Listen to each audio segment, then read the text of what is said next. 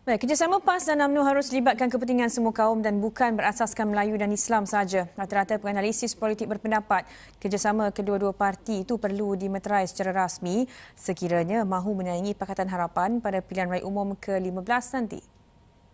Penganalisis politik Profesor Madya Dr. Rusdi Omar berkata, pemimpin AMNO dan PAS perlu ikhlas dan jujur dalam memperjuangkan nasib rakyat negara ini yang datang dari pelbagai kaum saya saya melihat uh, begini.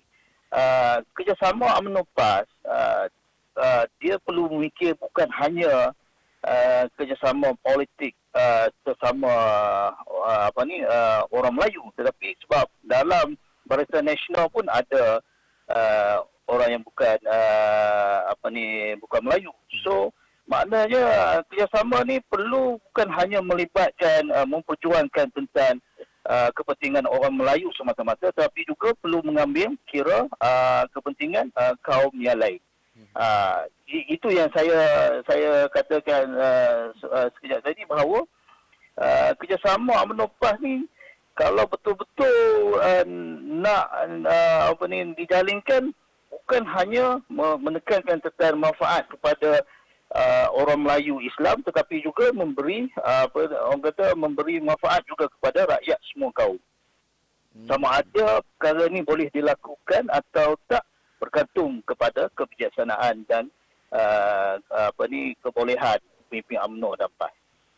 Beliau berkata demikian ketika dihubungi Astro Awani untuk mengulas mengenai kerjasama PAS dan AMNO yang semakin akrab setelah kehadiran Presiden AMNO Datuk Seri Dr. Ahmad Zaid Hamidi dalam muktamar tahunan PAS di Kuala Terengganu semalam.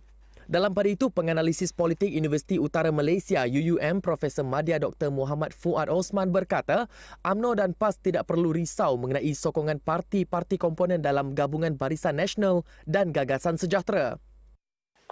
Saya kira oleh kerana parti MCA dan MIC pada ketika ini bolehlah dikatakan agak kurang signifikan. Kerana apa ni kedua-dua parti tidak menang dalam pilihan raya, maknanya tak banyak kursi yang menang kan. Jadi mungkin tidak banyak yang boleh diperkatakan oleh kedua-dua pemimpin parti inilah. Tapi pada masa yang sama saya yakin dan pasti Presiden uh, UMNO dan juga Presiden PAS pastinya telah pun berunding dengan parti-parti komponen masing-masing kan dan uh, ia bergantunglah bagaimana penerimaan penyokong-penyokong kedua-dua parti ini.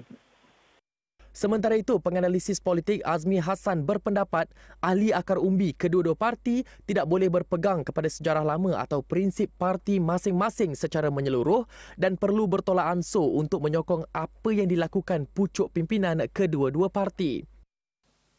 Uh, selain daripada dikatakan uh, perbezaan ideologi politik itu, uh, tetapi terdapat satu dikatakan satu perkara yang sama, iaitu perjuangan kepentingan agama dan umat uh, yang di, dikatakan disokong oleh kedua-dua parti. Uh, jadi dengan menggunakan faktor itu sajalah itu uh, faktor kepentingan agama uh, dan bangsa itu uh, saya pasti akan umbi akan menerima uh, buya UMNO menerima PAS dan begitu juga sebaliknya. Uh, jadi dalam hal ini kedua-dua parti ahli itu perlu dikatakan banyak bertolak ansur. Tak boleh sangat berpegang kepada sejarah lama ataupun prinsip parti mereka secara total. Kena ada banyak tolak ansur dalam hal ini. Sebelum ini sudah terjalin kerjasama antara AMNO PAS namun bercerai pada tahun 1978 selepas timbulnya beberapa isu dan ketidaksefahaman antara satu sama lain.